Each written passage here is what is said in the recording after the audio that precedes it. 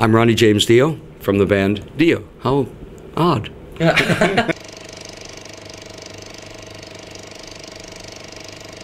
How are you doing? Doing great. Yeah? Doing really well. Are you really on tour now, or it's just one-off show?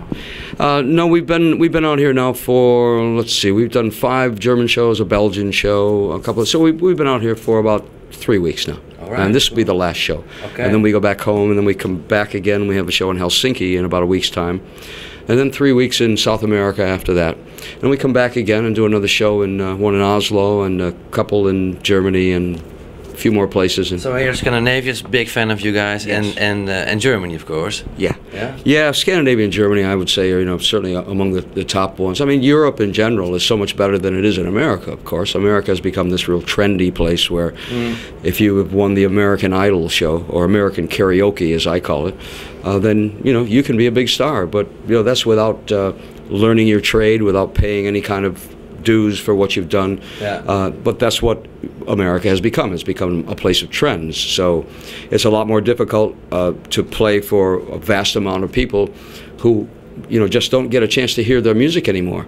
Um, the only time you can do well is if you do a festival with, you know, if it's Iron Maiden and ourselves or Scorpions and us and Purple or whatever it may be, Yeah. then you can kind of do well that way. But uh, other than that, it's very tough in America. But Germany, Scandinavia, Spain, Italy still really, really, yeah, really love the music, and they, they stand behind it all the time. So the Americans are totally different than uh, 20 years ago.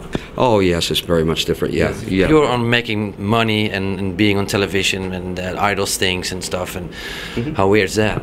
Well, you know, it's things like uh, now they have uh, like a guest appearance by someone. So Rod Stewart comes on. Suddenly his album goes to number one. Yeah. Excuse me?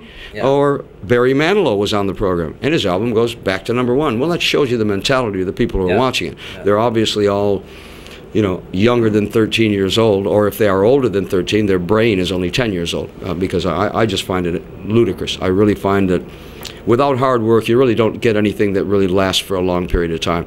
And none of those people are ever going to last for a long period of time. And there's so much good music out there that gets forgotten about because it doesn't sell your product. And that's what really the States is all about.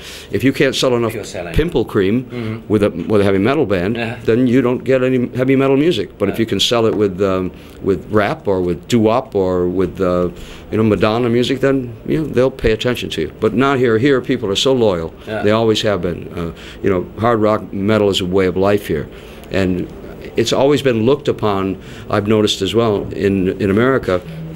If you are that kind of an artist, a rock, a heavy rock artist, then you're always kind of like, kind of look down their nose at you. Oh, you're not real, are you?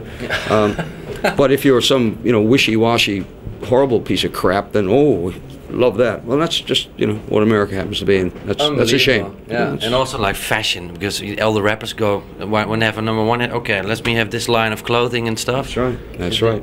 And the money they made is phenomenal for having, you know, I mean, without the talent of the people who they've copied and the music that they've taken and put inside of their songs, because let's face it, at the end of the day, what rap music is is a social comment. And I don't, to me, the most un- unbelievable thing is that it's supported so much more by the white population than it is, I mean, it's supported by the black population, of course. Yeah. But where are these young white kids from? you know, coming from uh, Indianapolis, Indiana, or from, um, you know, some little town in Texas. What do you understand about the social statement that I don't? You've never had to suffer what black people have had to suffer before. So how can you? What? Oh, it's all about the music. It seems to me these days it's all it's more about what what rock and roll was always was: sex, drugs, and rock and roll. It's more about the sex part of it. because if you watch the videos, all you do is see people going, Yeah. it's one great big giant hump, and to me, that's nothing to do with music. Do you write about it about these subjects? I haven't, no, because when, anytime I've tried to write about something that I, I thought was that could maybe change someone's attitude, it never has made any difference. They don't get it. All they hear these days, anyway, is the beat.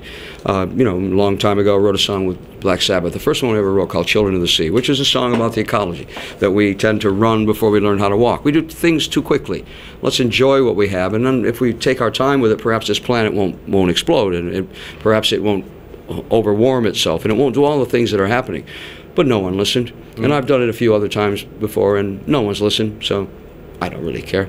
You're my forum. I have a chance to tell you. Exactly. Yeah. Hey, you, you got a new album out now, uh, live album. It's brilliant, I must say. Um, and also, yeah, one of the best songs, Heaven and Hell, of course, for us then. You'll Um, hear that tonight too. Yeah. Oh yeah. Okay. Have to do what that. kind of version is this one then?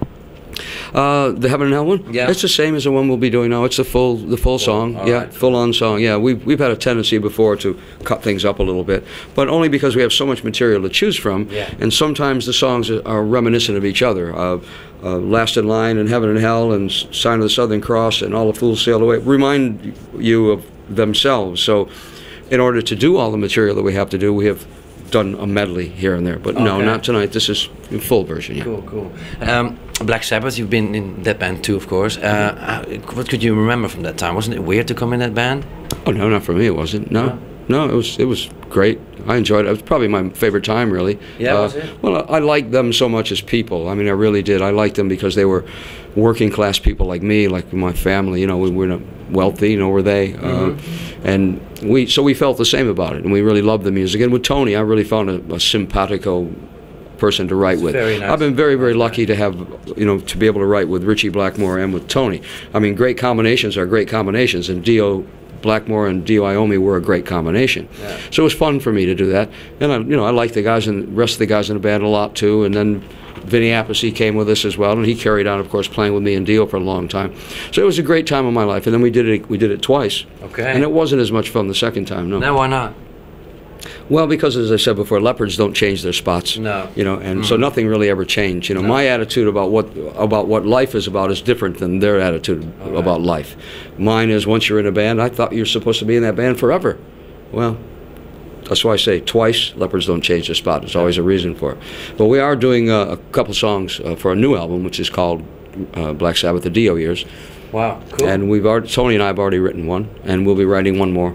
Really? Uh, so it'll be giving you value for money, and it'll be remastered and all that kind of thing. So when- it's, when's it's not that? that I don't like them, you know. I No, mean, I, and I love Tony. I, I think Tony's just such a special player, and he's a really, really good person. I like Tony a lot. Yeah. When is it coming out?